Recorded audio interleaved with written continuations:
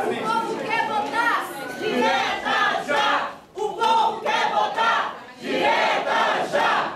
O povo quer votar! Direta já! O povo quer votar! Direta já!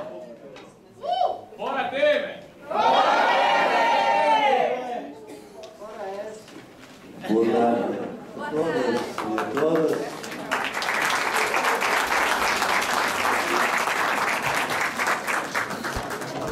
dia é um dia eh, muito especial. Eh, nós trabalhamos com um paradigma de ciências sociais cidadãs, que naturalmente, embora saibam que o conhecimento que nós procuramos produzir é um conhecimento que não está eh, na sua produção diretamente vinculado à realidade e às lutas coletivas, mas nós trabalhamos eh, na nossa perspectiva das epistemologias do Sul e das ciências sociais, exatamente na perspectiva de uma luta por uma sociedade contra a opressão capitalista, colonialista e patriarcal, a qual para nós é a formulação mais rica, mais densa do que pode ser uma luta pela democracia.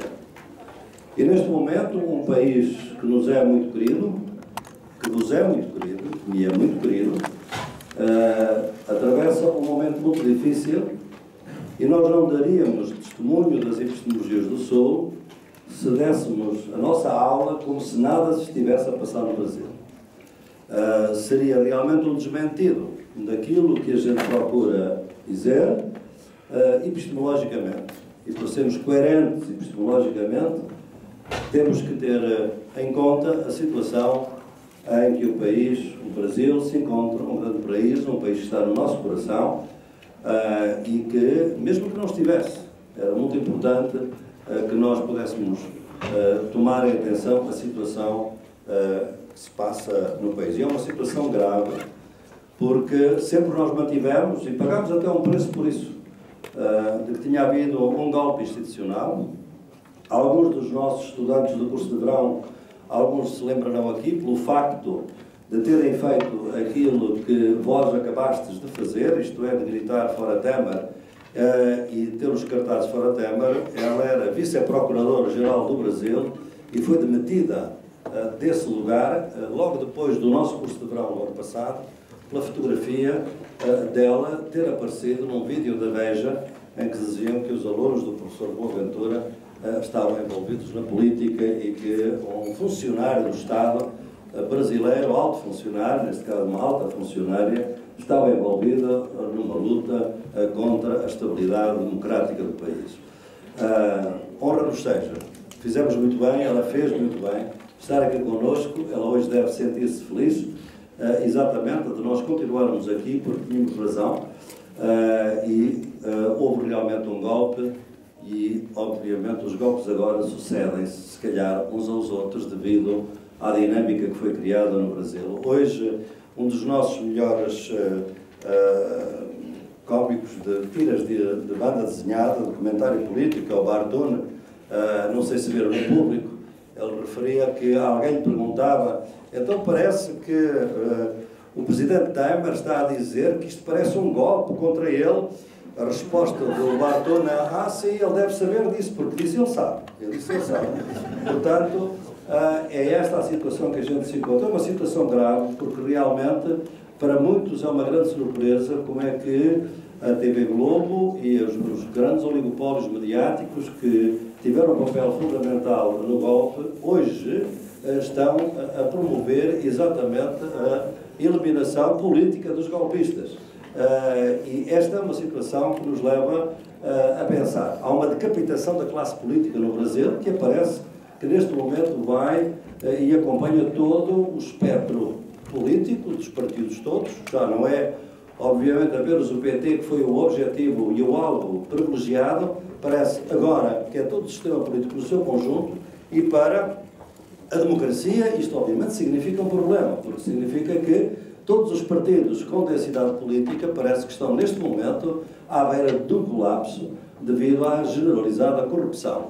Eh, e quando isto acontece, torna-se ainda mais ridícula e quando a gente vê as quantidades e as quantias e, a, e os, o, o traço que foi feito dos dinheiros que foram uh, andando de mão em mão, uh, torna-se ainda mais ridículo como se tenha querido liquidar um ex-presidente que tanto fez por aquele Brasil por causa uh, de um triplex. Torna-se agora realmente extremamente ridículo tudo aquilo que se passou até agora, para além do facto, obviamente, de que a vítima desse golpe inicial foi, como eu sempre tenho dito, a política que são mais honesta da América Latina uh, e talvez do mundo, uh, a Dilma Rousseff.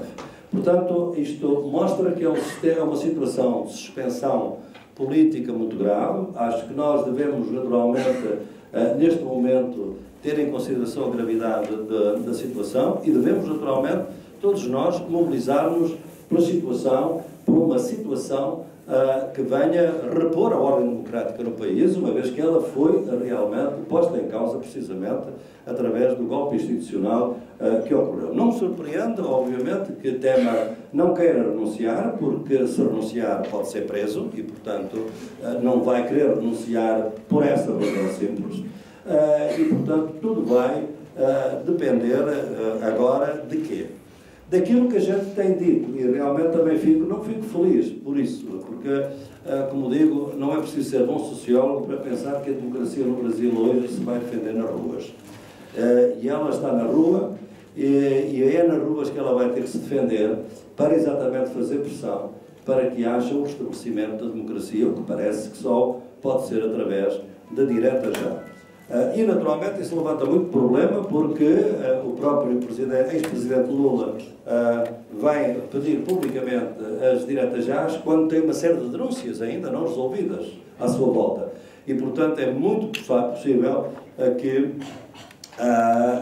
não deixem, efetivamente, levar a cabo esse seu desidrato. De todo modo, é essa a pressão que se tem que fazer, penso eu, como cidadão internacionalmente comprometido com o Brasil há muito tempo, essa pressão pelas diretas já, essa pressão que tem que ser feita na rua e, quiçá, não é um momento de nós, eh, é, é um momento de luta, não é um momento de cantar triunfos, mesmo com as diretas já. A direta já é um processo muito importante, mas é preciso ter muito cuidado. O Brasil pode cair num governo de juízes. Se efetivamente o processo desta, que neste momento é de alguma maneira estranho, eh, porque a justificação que parece surgir é que o tema foi muito importante para decapitar o PT, que era fundamentalmente, em meu entender, o grande objetivo do imperialismo norte-americano era, e também das elites brasileiras, era realmente eliminar o PT da cena política, mas este governo é demasiadamente fraco para levar a cabo as brutais reformas uh, políticas que eles querem instaurar. E realmente, quer na reforma da Previdência, quer na, na CLT, nos direitos laborais, são reformas brutais que estão a ser uh, uh, propostas e, naturalmente, tornou-se claro uh, que este governo não tinha poder para as levar a cabo. A minha interpretação é que é por isso que a Globo agora solta, larga o Temer e, e deixou cair, precisamente à procura de uma solução. Noutras circunstâncias, nós já vimos este filme no passado, noutras circunstâncias poderia ser extremamente perigoso no sentido de criar uma comoção pública tão grande que levasse a uma outra ditadura militar. Uh, e é muito importante a gente saber que nós estamos hoje num tempo que é diferente. Não me parece hoje que o neoliberalismo internacional, o imperialismo internacional, uh, queira ou, ou, esteja disponível. Uh, também não sei se os militares brasileiros são disponíveis para isso.